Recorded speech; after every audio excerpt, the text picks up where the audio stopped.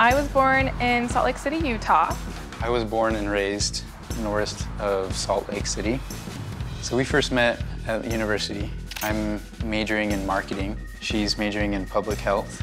While Brian focused on his marketing career in Utah, Celeste traveled solo to Thailand to become a certified yoga instructor. That was kind of my first exposure to how life is abroad. And I got back literally a day before our wedding. I just knew immediately when I got back, though, that I wanted to go somewhere else immediately. That's really what got me thinking, well, I gotta kind of change if I want to make it work so that I can be there with her. I want to go on a hike to the very top of that mountain. We want to do a yoga business with yoga retreats. This is a very big place for yoga, and people always think of Costa Rica. They think of like peace and relaxing. Does this remind you at all of where you went mean- camping growing up, babe? Not exactly the same, no. I'm all for the basics. I, Too basic. well, to you. Celeste is very outgoing and wanting to do everything, and it makes it really challenging to find the, the direction we want to go. it's a leap of faith. It really is. You can find some lower uh, priced homes, but they're going to be typically in rural areas and they're going to be more of Costa Rican typical style homes. It seems like it's very rural. Yeah, I gotta say, it's really, really green. Well, it looks very rustic. Like it looks like it has a lot of what Brian's hoping. Well, one of the great things about this property is it's a little bit off the beaten path, but we're also still close to town. And as you can tell, we have neighbors here n- nearby. Oh, great. So you're able to immerse yourself in the local community. This is a two bedroom, one bath. It's less than what you were originally willing to spend, which is 550 a month. You guys think about that? that. I absolutely love the outside. It's quaint, small, perfect for what we're willing to spend. I don't know how Celeste is feeling about it. Let's look inside. This is the living room. Holy smokes. This door, this Oh, I love the door. openness. But I'm not sure how I feel about this kitchen because it's super small. Is this where you imagine yourself living in Costa Rica? Yeah, I think that it definitely immerses us in the culture. Oh no, I don't like it. I don't like it. This kitchen has got to have work. I need to have a kitchen I can cook in. I mean, I, I'd be fine just cooking outside and with a fire and be content, really. Okay, this is a quaint little bathroom. I'm not a big fan of the walls though because it just seems like it's pretty worn down and kind of cheap. I don't like that very much. Why not? I don't like that at all, actually.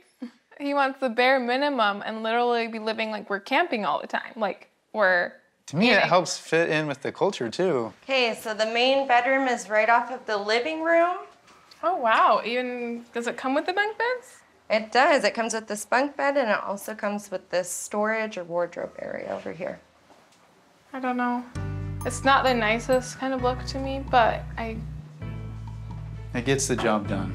yeah, but I just kind of wonder if we were willing to spend a little bit more, if we could get a little bit more for our buck. Yeah. I think it's good for us right now. I could see in his face that he really likes the idea of living here. He thinks that simpler equals better. Whereas for me, I could see the potential of a bigger space and how that could help us with our business.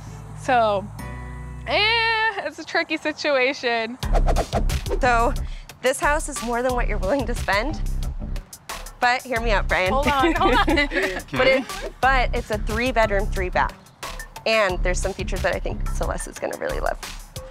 Okay. You hear that? Okay. At least she'll be pleased. So as you can tell here, the owner currently has this business being ran from the small room in the front, which is the third additional room that I think you guys could get a lot of use out. How much is it? Maybe. So it's $700 a month. okay. Potential investment, maybe. Yeah, potentially. I think it could potentially work. Take a look inside here. Wow. I don't think we need this much room. Well, it does have an open concept. No, like that's could perfect. This ask for. space is perfect. Take a look at the main bedroom with an ensuite bath. It's uh, Oh, I love the pretty bathroom. modern.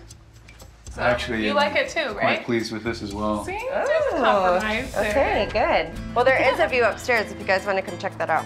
Definitely want to see the view. Holy smokes. There's a beautiful view of the mountains and jungle, which is kind of what Brian was wanting, and then Celeste, we're right here in the city. I, I really love that. Well, there is quite a large studio up here. If you guys want to come take a look. Wow, we have another room. I feel like we've Good seen grief, a lot. this house is just too big. I kind of knew when we were looking that he was not a big fan of the open house, not a big fan of the many rooms. it's still over uh, what we're willing to spend. So Ay, ay, ay. it does have its perks because with our business, we could do something with it. I know Celeste really likes that aspect of the home, but I, I'm a little bit more hesitant. Maybe in the future, we'll actually buy a property uh, with a bigger, better studio. I just feel like we're going a little too fast. We don't need this right now for us. He just wants to live in a freaking cabin. Well, that's my dream. I mean, what's wrong with that, huh? Lauren looks outside the city to find a house that will appeal to both their sensibilities. But it presents a practical challenge. Oh, this is actually really secluded. I mean, all the way out to the entrance of O Hotel is probably a good 25 minute bike ride. Ooh, we might need to get a car. But this house is a two bedroom, two bath, like you had asked for. And it's exactly what you had been wanting to spend, which was $600 a month. And a more modern concept, but a jungle feel. we might be able to compromise. The feeling of this house is peaceful, it's a tranquil environment. I do worry that we are a little further from town. That could create a little bit of a issue for us in the long run. Check out the inside of the home. Wow. What do you think of the kitchen, the floor plan, the open concept? You know, I'm sure that Brian loves this table. Does this come with it? It does. The house is oh my semi-furnished. god. How do you feel about the kitchen area? Oh my gosh. See, this is what I like. This contemporary backdrop. This is perfect for me. Let's look at the main bedroom. Okay. Right here off of the living area. Oh my gosh, these windows. They're amazing. They're so big and we have the best view. It makes me feel like we are in a beautiful oasis. And I love that. Here's the ensuite bathroom. Oh my gosh, Hey. that's a really good balance. Brian, what do you think of the rustic uh, sink? Oh my gosh. I absolutely love that. There's rustic here, modern here. There is a little bit of both. She did a really good job of combining contemporary with also the the rustic that Brian's wanting. So what about the rustic house? How do you feel about that house? It hit home for for me. And it's lower than what we're willing to spend. So that's right up my alley. But it's a little bit too rustic. I just kind of wonder if we were willing to spend a little bit more, if we could get a little bit more for our buck. What do you think of the in-town home? I like that it has some modern amenities to it. Yeah, but it's definitely over what we're willing to spend. I don't think we need this much room. That No, like- that's perfect. This space is perfect. And last but not least, there's the jungle home. What do you think of that? So there's a lot more of that modern touch on that house. But then also, you also have your rustic table. Does this come with it? It does. The house is semi-furnished. Oh my gosh. I just worry the fact that we, we don't have a car just yet. That's that's a big Oh, concern that's of getting true.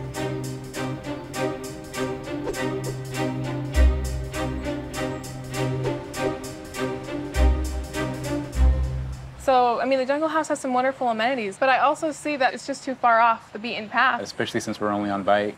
So, for now, in this moment, It's a no on the jungle home.